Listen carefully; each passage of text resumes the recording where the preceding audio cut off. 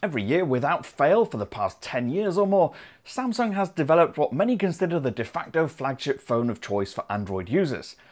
And based on our time with the latest Galaxy S23, that winning streak isn't about to end anytime soon. I'm Cam Bunton from Pocket-Lint, and I've been using the S23 for the past few weeks, and this is our review. Now, not a huge amount has changed between the Galaxy S22 and S23 on the design side, at least not from the front. That's no bad thing, the bezels around the display are among the skinniest we've seen on a phone, and they're impressively uniform keeping that slimness around all four sides of the display and curving inside the rounded corners to match the radius of the external aluminium frame.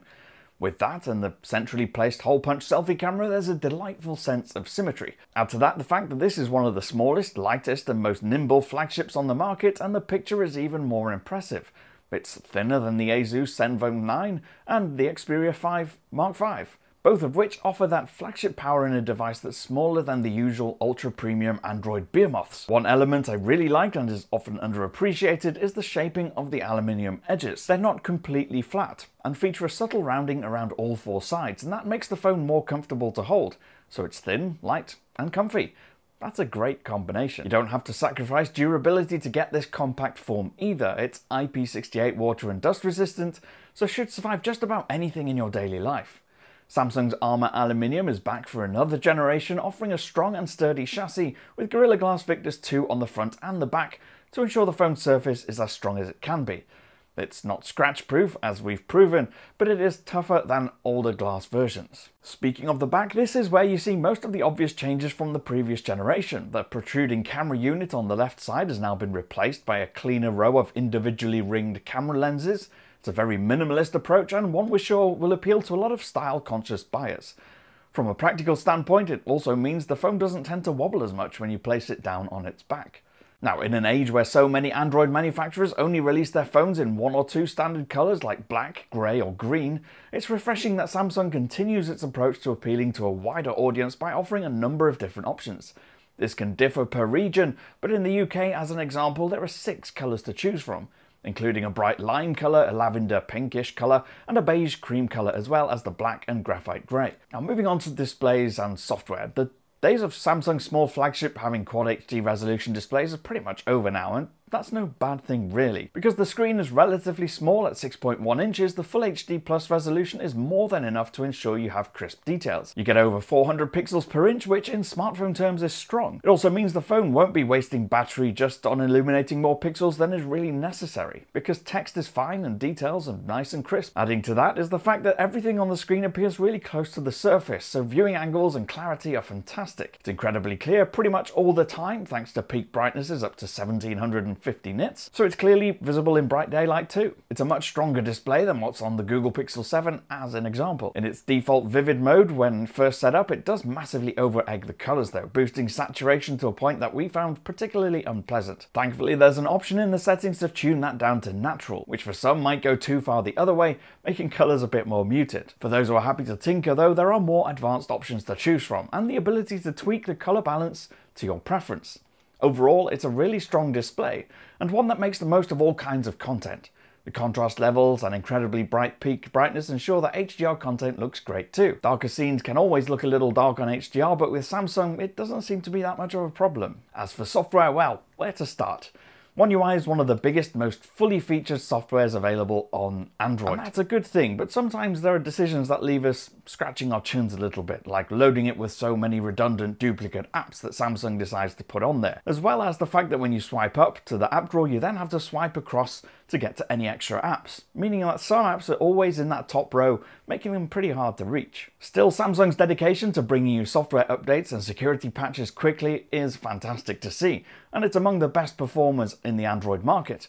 You'll get updates for about four years for major software updates and five years for security patches. Now let's move on to performance and battery. And in the Snapdragon 8 Gen 2, Samsung has used a chipset that's very capable. It's Qualcomm's most powerful chip to date and delivers the experience you'd expect it to. Games load quickly, touch response is quick, and the user interface glides under the fingers. We didn't notice any of the lag or stuttering we've seen on previous Exynos versions, and during longer gaming sessions it didn't seem to get overly warm either, and was pretty consistent in performance after longer periods, continuing to offer offer smooth refresh rates even after 30 minutes of gaming. I was pleasantly surprised by the battery performance on the S23 too.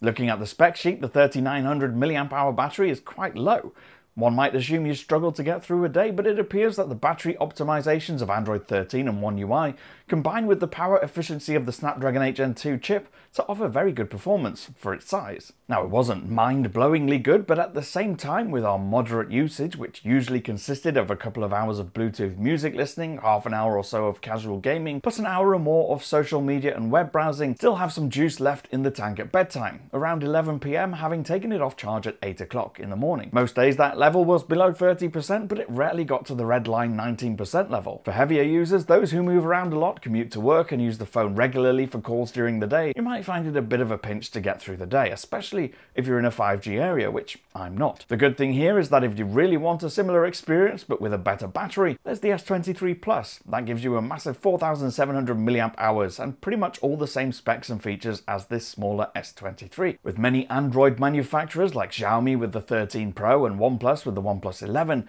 there's a race to be the fastest to refill a battery. Those two devices specifically can completely refill an empty battery in about 20 or 25 minutes, and their batteries are much bigger than the Galaxy S23's.